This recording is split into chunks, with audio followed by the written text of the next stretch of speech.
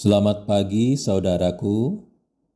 Mengawali kegiatan hari ini, Minggu 1 Mei 2022, bersama Allah di waktu fajar.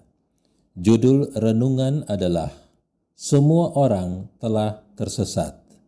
Firman Tuhan dalam kitab Yesaya pasal 53 ayat 6. Kita sekalian sesat seperti domba masing-masing kita mengambil jalannya sendiri, tetapi Tuhan telah menimpakan kepadanya kejahatan kita sekalian. Mari kita dengar ulasannya. Apa pun kecemasan dan pergumulanmu, bentangkan masalahmu di hadapan Tuhan. Jiwamu akan disegarkan agar memiliki daya tahan. Jalan akan dibukakan bagimu guna melepaskan dirimu dari rasa malu dan kesukaran. Semakin lemah dan tak berdaya engkau menyadari dirimu, akan semakin kuatlah engkau di dalam kekuatannya. Semakin berat bebanmu, semakin membahagiakan kelegahan dengan menyerahkan semua itu kepada pemikul bebanmu. Keadaan bisa memisahkan sahabat. Gelombang samudera yang luas bergelora bisa menerpa di antara kita dan mereka. Namun tidak ada keadaan, tidak ada jarak yang dapat memisahkan kita dari Yesus. Di mana saja kita berada, ia berada di samping kanan kita untuk menopang, memelihara, menegarkan, dan menggembirakan kita.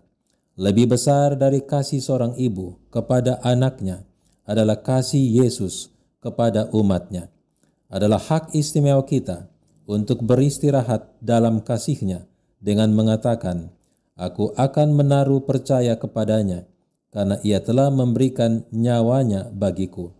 Kasih manusia bisa berubah, namun kasih Yesus tak pernah berubah. Bila kita berseru kepadanya, meminta pertolongan, tangannya terulur untuk menyelamatkan. Saudara, janganlah pernah merasa bahwa Yesus jauh daripadamu. Ia senantiasa dekat. Hadiratnya yang indah itu mengelilingimu. Ia ingin agar engkau bukan hanya menjama jubahnya, tetapi berjalan bersama dia dalam hubungan yang tetap. Inti perenungan adalah masalah dan beban hidup sebesar apa pun, sampai sahabat dan saudara telah meninggalkan kita tetapi satu hal yang harus kita ingat, bahwa Yesus tidak pernah meninggalkan kita. Ia ada dan menyertai kita. Jangan takut, tetaplah percaya. Mari kita berdoa. Bapa di sorga, terima kasih sebab aku sadar engkau menyertaiku dan menolongku.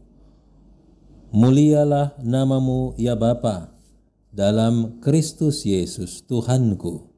Kami menyerahkan hidup ini dalam tanganmu, sertai kami sepanjang hari, dan jadilah kehendakmu, bukan kehendak kami. Dalam nama Yesus. Amin. Demikian renungan kita hari ini. Tuhan Yesus memberkati. Shalom.